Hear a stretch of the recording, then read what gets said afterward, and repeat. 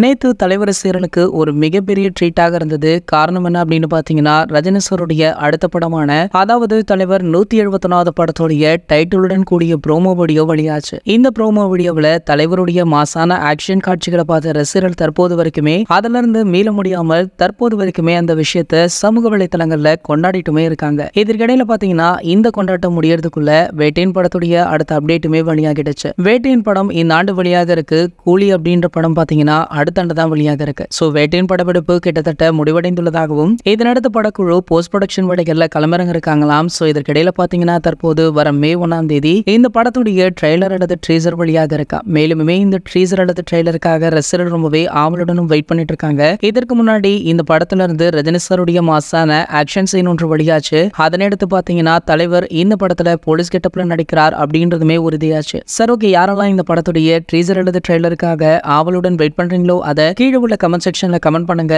மேலும் இது போன்ற சினிமா செய்திகளை பத்தி நீங்க உடனே தெரிஞ்சுக்க நம்மளுடைய ட்ரெண்ட் செட்டர் அப்படின்ற நம்ம சேனலை சப்ஸ்கிரைப் பண்ணிக்கோங்க. மேலும் பக்கத்தில் உள்ள பெல்லைக்கான கிளிக் பண்ணிட்டீங்கன்னா நீங்க நம்ம வீடியோவை மிஸ் பண்ணாம பார்க்கலாம்.